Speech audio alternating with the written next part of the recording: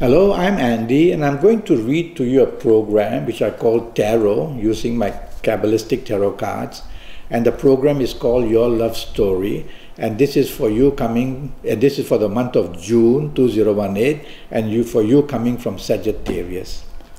The first card that I pull will be to do with your first 15 days of June and your first 15 days of June in the area of romance are not good at all. They are in fact terrible. And if you do find a romance in the first 15 days, tell yourself it's coming loaded with complications and trouble of every kind. So don't give your heart away too quickly. Study this person slowly. I'm not saying cancel out the romance, I'm just saying understand the circumstances in which you found this new romance. And if you have an ongoing romance in the first 15 days, plenty can go wrong. Don't argue, stay away from it. And if it's your romance partner or your new romance partner arguing, then stay away from the argument. It's you who is listening to me. Be understanding, be supportive if you want to save your romance areas in the first 15 days. And if you happen to be married, tell yourself that difficulties can be very, very strong past issues, new issues, something to do about money. Kabbalistic cards show planetary signs and zodiac signs, that's why I use them. And all these planets here shown, the worst one is financial issues bringing so much unhappiness, whether it's to your romance area or marriage area. And your marriage area can be stretched to breaking point, it says. And so if you value it, step back and don't retaliate. It's only 15 days and that, that way your romance or your marriage your marriage situation may stabilize. Later on in the last 15 days we'll find out in a minute. So it's a really difficult card for you in your love story in the first 15 days. It's you, all up to you to keep it intact. Now this is the card for the last 15 days and you're very lucky. All the solutions can be found. Let's talk of the new romance that you found in the first 15 days. Now that can blossom and be more understanding to you and vice versa.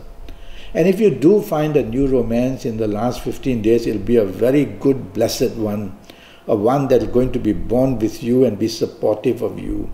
That's if you find a new one in the last 15 days. Your ongoing romance will find many solutions to put it back on an even, stable, even stable position. And you will be very happy talking of bonding and talking of your future together. So you see how 15 days can change. So don't give up on the first 15 days. Tell yourself, work it out slowly so that the last 15 days can give you all that happiness that you deserve and that your romance partner deserves. And if you happen to be married, there's an extreme amount of support coming not only from you but from your marriage partner as well. So, so many solutions are found in the last 15 days. Everything comes under your control. And you'll have to be the, you are the one listening to me. So, you have to be the one who can save this marriage or romance from just crumbling. And do it in the last 15 days because you'll have all the support from this card. Now, you coming from Sagittarius, I'm using this card to tell you your lucky dates, D-A-T-E-S, your lucky dates in the month of June. And your lucky dates are going to be the 9th, the 18th, and the 27th. These are going to be extremely powered dates. And uh, the signs on this card show that you will have all the good energy, finding a new romance, enabling the success for your existing romance to be happy and definitely making your marriage and family areas to be extremely happy. So go out on the 9th, 18th, 27th together as much as possible and uh, chasing for the romance as well on the 9th, 18th, 27th. Marvelous, very powerful dates for you in the month of June. The next one is about your lucky ages. And looking at this card, the ages I like would be if you happen to be the ages of 16 or 25 or 34 or 43 or 52 or 61 or 70 or even 79, you are going to be one very lucky person in the area of love.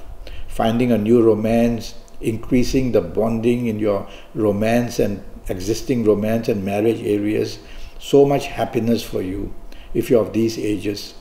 If you're not of these ages, you'll need to have this 90 minute Skype session with me where I'll use your date of birth and time of birth and look at your palms and help you for your next seven or eight years.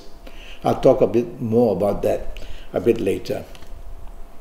Now I'm going to talk to you about your lucky color for you coming from Sagittarius. And the lucky color I'm choosing from this card is the color red. So wear plenty of red to attract attention of romance, to attract energy for your existing romance and marriage area to become lucky.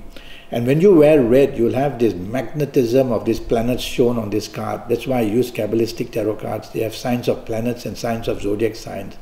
So use red to get the full benefit for yourself as much as possible. Now, this is the card to find out who might give you trouble in the area of romance or marriage, and it's somebody from Taurus. So somebody from Taurus, if this person happens to be your marriage partner or your ongoing romance partner or the new romance you find somebody from Taurus, tell yourself it's going to be a handful of problems in the month of June. So be prepared to tackle this person as carefully as you can and don't be impatient, don't be hasty, don't be forceful for, to be sure, and don't show your temper.